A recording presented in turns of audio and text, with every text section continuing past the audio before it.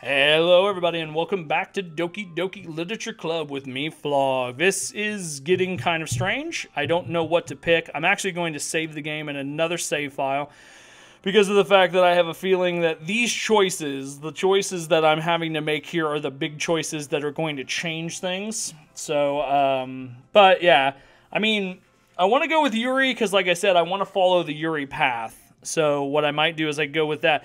But at the same time, I would also choose Sayori because of the fact that what happened and how I haven't been spending time with her. So um I don't I don't know. Should I should I deviate and go with Sayori just because of the fact that it yeah, you know what? We're going to go with Sayori. I mean, if it's going to be anyone, uh, then I prefer helping Sayori. I mean, we're already neighbors, and but Monika said Monika said that Sayori was helping her. Jeez, do you really hate us that much? No, no. Sorry, I didn't mean for this to be difficult. Just think of the club, okay? Oh wow. Okay. Well, Jesus Christ. Okay, I'm gonna go with Yuri.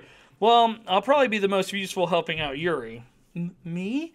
Are you serious? Why would you. Natsuki, I can already tell you're about to say something mean. N- no, I was just saying. Ugh. So you'll be helping Yuri then, Flog? Yeah, that's what I'm going to do. I'm glad. I have a bad habit of overthink- overthinking these sort of things, so I think your assistance will be very useful. Ah, that's great to hear. Natsuki, will you be able to handle the baking yourself? I mean, yeah. I already said I would be fine. Okay, okay. Everyone can tell that Natsuki is feeling a little sour. So, is that everything we needed to go over? Yeah, that should be about it. Are you guys excited? Well, excited may not be the right word, but I suppose I'm looking forward to it a little bit. Do you feel the same way, Flog? Me? Uh, I guess you could say I'm interested to see how it'll turn out. That's good enough for me. What about you, Natsuki? Natsuki? What? Why is everyone yelling at me? I didn't even do anything. No, that's not what I meant at all. Uh, uh, Yuri anxiously, anxiously glances between everyone in the room. I, I'm sorry for this. I don't really know why Flog picked me. And also, your cupcakes are the best cupcakes I've ever had. They go really well with my tea. And nothing that I do for the event will compare to that, so. So. I get it, I get it. I'm kind of surprised, though. Why? Um. Well, I'm the one acting immature. I already know that. But you're trying to cheer me up all of a sudden. I, I know I'm not very good at it. I'm sorry if I said something bad. Natsuki isn't the only one surprised. Monika and I are also taken aback by Yuri's words. When she was already in trouble with her has trouble with her words, trying to cheer someone up must be far from her own comfort zone. But I begin to understand. Yuri was trying to sound like Sayori. Even if it didn't work perfectly, I can tell that she tried to say something Sayori would say at a time like this. Because Sayori always helps everyone smile and feel good about themselves. No, I kind of appreciated it. I'm sorry for making a big deal out of nothing. I'm going to say this. You better bet my cupcakes are going to be the best part of the whole event. Uh, I believe you. Yeah, I hope to see everyone do their best. But with that, there's nothing more for today. So I guess it's time for us to head out. All right, let's get out there then. Everyone packs up their things. I start to follow Monika and Natsuki out of the door as they chat between each other. Uh, um, uh, I turn around. Sorry, I realized that I don't have any way of contacting you this weekend. Oh, you're right. I can't believe that slipped my mind. Should I give you my phone number? I think that would be the best way, yes? All right then. Yuri and I exchange phone numbers. Okay, then I'll be stopping by your house on Sunday. Eh? My house? Is that a problem? No, not at all. I just thought that it, I would be the one going to your house since I'm the one helping you.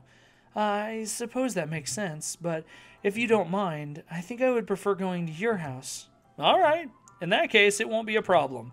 I decided not to press Yuri for a reason. It's not like it should matter much either way, so I'll just need to make sure my room is clean. I hope I manage to make myself useful in some way. I'm not nearly as creative as you are. Don't underestimate yourself, Flog.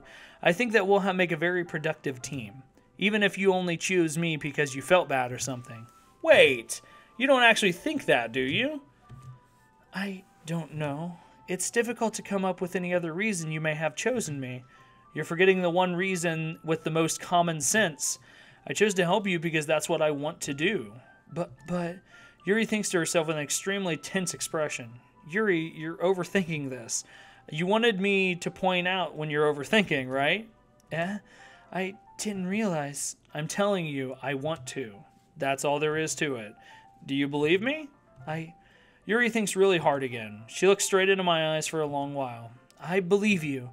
It's as if as if it took her tremendous effort, Yuri finally says that and relaxes her expression. And I'm really looking forward to Sunday. Yeah, I am too. After that exchange, I make my way out the door and Yuri follows.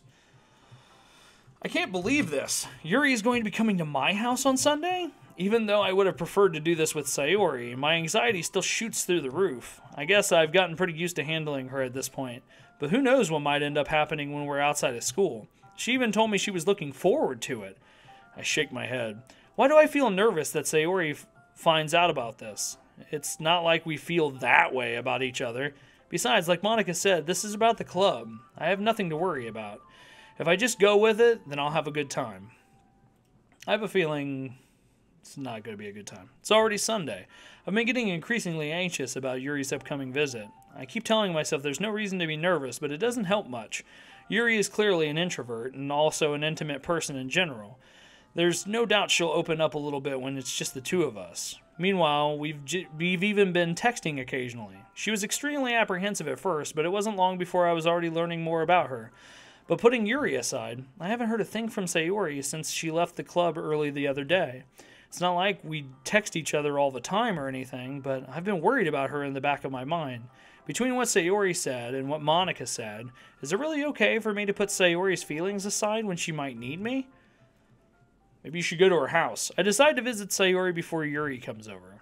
Rather than asking, I simply tell her I'm coming over, much like we've done in the past. Once I reach Sayori's house, I knock on the door before entering it myself. Again, we used to play so often that we've made it a habit of simply entering each other's houses like we were family. The house is quiet. Sayori isn't anywhere on the first floor, so I assume she's up in her room. It's already strange of her not to run down and greet me. I head up to her bedroom, where I finally find her. Sayori? Hi, Flog. I sit down in her room. Sayori forces a smile, but it's easy to tell that she's different. There's a minute of silence between us. You haven't come over like this in a long time, have you? Uh, I guess you're right. It has been a long time. Not much has changed, has it? Sayori's room is as messy as it's always been. I also recognize the same stuffed animals and wall decorations that she's had for years now. if you came over more often, it wouldn't be such a mess. That's because I end up cleaning it for you. How come you suddenly wanted to come over today? Are you supposed to see Yuri today? Yeah, but wait, how did you know that? Sayori had already left by the time we decided that last meeting. Monika told me. It's only natural for her to keep me informed about the festival preparations, right? Uh, that's true. But what about you? Aren't you going to be helping Monika today? Of course, but I'm just helping her online.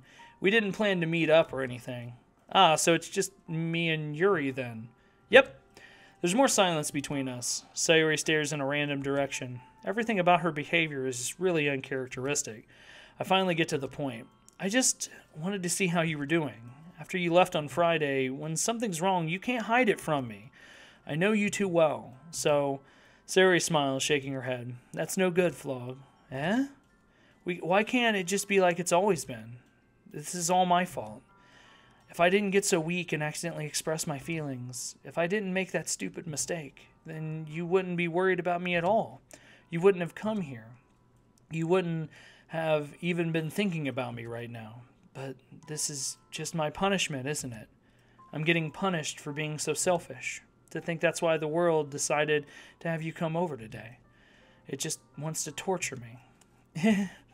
Sayori! I grab Sayori by the shoulder. What on earth are you saying?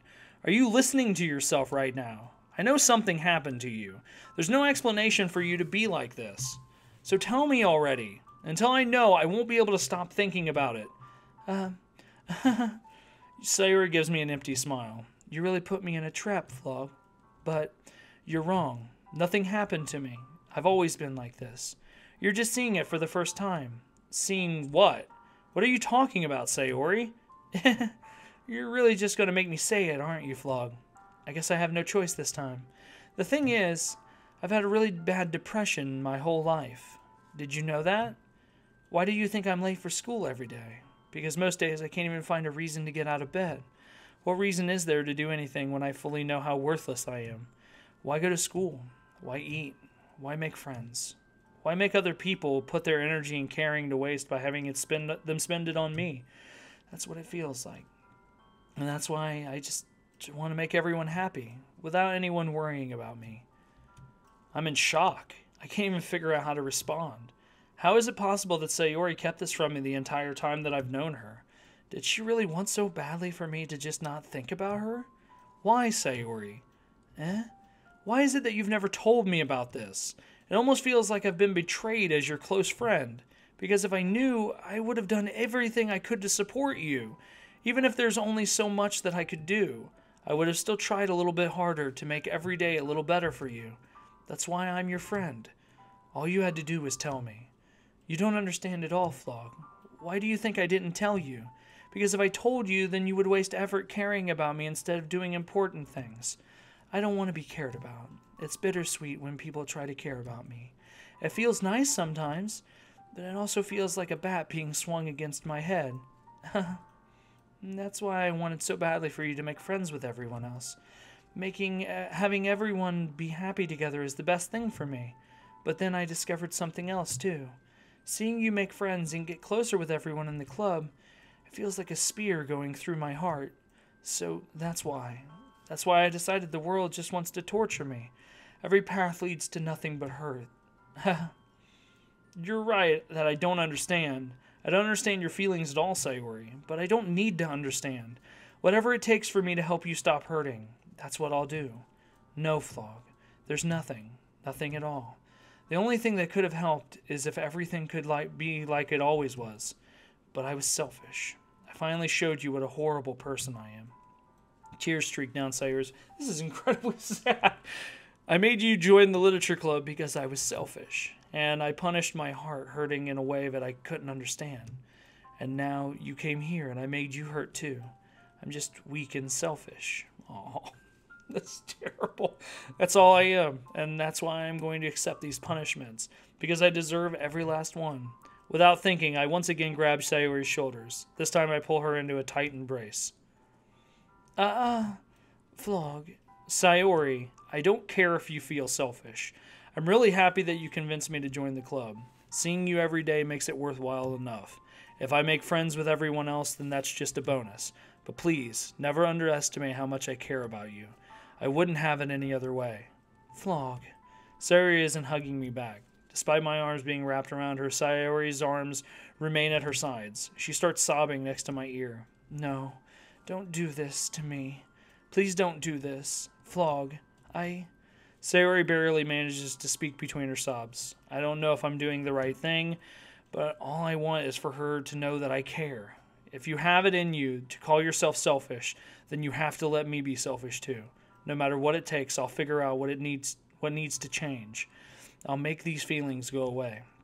And if there's anything that you need me to do, then you'd better tell me. I'll get mad if you don't. That's kind of a weird way to deal with it. I don't know. I don't know. I don't know. Gently, Sayori finally puts her arms around me in return. I don't know anything. It's all really scary. I don't understand any of my feelings, Flog. The only time I'm not feeling nothing is when I'm feeling pain. But your hugs are so warm, and that's really scary too. Sayori lets me go. As she does, so I let her go as well. The festival is tomorrow. Yeah. It's going to be fun, right? Yeah. How would you like for me to spend it all with you? Um, uh, it's what you want. It's what I want. I promise. I, I think that would be nice then. Yeah. Sayori wipes her eyes. If I could spend the whole day here, I would.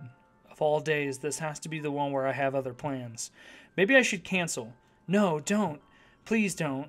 If you do that, then I really wouldn't forgive you. But it's almost time for Yuri to meet me at my house. At the very least, do you want to come along and help out? It would be fun. To my sur- surprise, Sayori shakes her head. I'm sorry. I don't know if that would be very good for me today. You understand, right? Uh, it's kind of hard for me to fully understand, but I'm trying my hardest. It's okay. Don't worry too much about it. I'll see you tomorrow, okay? All right. I look forward to it. That that hurts. that really hurts. Okay, I, I, think I'm okay. Uh, I say goodbye to Sayori and exit her house. On the way home, I find myself still feeling uneasy, but it's hard for me to keep thinking about when Yuri is about to come over too. I think Sayori is right. I shouldn't be worrying too much, and we're definitely going to have a great time tomorrow. I should just focus on what's ahead of me.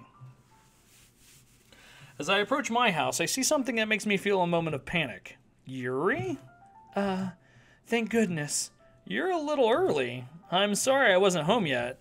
Were you waiting for a long time? No, I just got here. But I started to get really nervous when nobody answered the doorbell. You always could have texted me.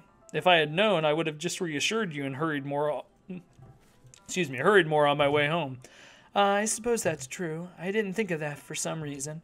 It should be common sense to do that, but I decided to ignore it. Anyway, let's go inside. I see you brought a lot of stuff with you. That's right. And did you manage to find everything I asked you to buy as well? Yeah, pretty much. At least I hope I got everything right. I'm sure it will be fine. I take Yuri to my room. The first thing she does is glance around curiously, which makes me feel anxious. It's so clean. I cleaned it before you came over, so that's very considerate of you to do. Ah, uh, no. I would be really embarrassed for my room to be a mess while you were here. Hmm? Well, I do enjoy cleaning. I would have gladly helped you clean. Ah, uh, that would be even more embarrassing. Wait, don't look in there. I snatch Yuri's wrist, which was in the process of opening a desk drawer of mine. Uh, uh, I'm sorry. I wasn't thinking for some reason. I was just spacing out. It's fine, it's fine. I let go of Yuri's wrists. She puts both of her hands firmly in her lap as if she's making sure to keep track of them. So, um, so should we get started? Uh, yes. Um, I have a few things planned that you can help with decorations and other atmospheric enhancements. Atmospheric enhancements? You know, mood lighting, aromatherapy candles. Oh, wow. I didn't know you had planned on taking it that far. Of course. I want to make sure our guests are in a faraway place. Although many will stop by just out of curiosity, and cupcakes, I guess. I'm determined to provide an experience that will leave them wanting more. That's great. It's easy to forget that you're a pretty intense person. Uh, intense? I guess that's the best way to put it. Is that a bad thing? No, not at all. It's just something I like. Wait, it's something that I like about you, actually. It, is that so? That makes me feel relieved and kind of happy. Yeah, no need to be so anxious. You can relax a little. Relax. I brought some things for relaxation. I was going to use them during the poetry event. Oh, yeah? Like what? Let's see. Yuri rummages through her bags. She pulls out a few candles and a wooden cylinder shaped object. I did some shopping on the way here and I happened to have these in my bag, so I plan to cover the windows in black paper and use the candles to light the room. I think that would be amazing, don't you? Yeah, that would be really neat. What's that wooden thing, though? Oh, this? It's a diffuser for essential oils. How familiar are you with aromatherapy? Not familiar at all. Ah, is that so? It's one of my favorite contributions to a positive atmosphere. Depending on the oils or herbs you choose, you can change the mood of the air itself. You can even feel it permeate through your body. Relaxation, positive energy, romance, reflection, it's almost like magic. Yuri takes the cylinder and pushes a switch on the bottom. In a mere moment, a thin ray of vapor begins to spout through a small hole in the top. Wow, that smells wonderful. What kind of mood is that one for? This is jasmine essential oil. It smells a little sweet and flowery, right? Yeah, that's a good way to describe it. I chose jasmine for the event because it provides more than relaxation. Jasmine enhances your emotions and helps you feel them flow through your body. You feel warmer and your heart pounds more heavily. Don't you think that'll be perfect for sharing our poems? It does sound suitable, but you seem to know a lot about this, so I'll trust your opinion with anything. Yuri smiles gently, clearly enjoying herself. She again reaches into her bag and pulls out several spools of thin ribbon. What are those for? Well, did you purchase the origami paper I asked you to get? Yeah, I have it over here. We won't be using the paper for folding origami. What I like to do is write a different kanji character on each paper. We'll need about a hundred of them. Oh, yeah? What will those be used for? Well, I'm going to cut pieces of ribbon and hang from the doorway of the classroom. Then we can fasten the kanji paper onto the ribbons and create a doorway curtain. Wouldn't that be beautiful? It would also catch the eye of those passing by the room. It may attract someone to peek inside. That's really creative. I had no idea you'd be so good at this, Yuri. Is that so? Well, I suppose I do get a little intense, as you put it. Yuri giggles with red cheeks. Is it just me, or is she more relaxed than it, when it's just the two of us? Or maybe it's the excitement she feels from sharing something that she enjoys. Here's a marker, Flog. You can write any characters you want. I'll help you once you finish. Once I finish cutting the ribbons. Ah, all right. All right. So with that, I'm gonna go ahead and end this episode. So after an incredibly bittersweet uh, interaction with uh, Sayori, which actually left me just a little more heartbroken than I thought I'd actually be. Uh, we're going to go ahead and uh, end this episode here. So, thank you guys very much for joining me on an, this episode of Doki Doki Literature Club. Remember to hit that like button, comment, and of course, subscribe. I'll see you guys in the next one. Bye bye.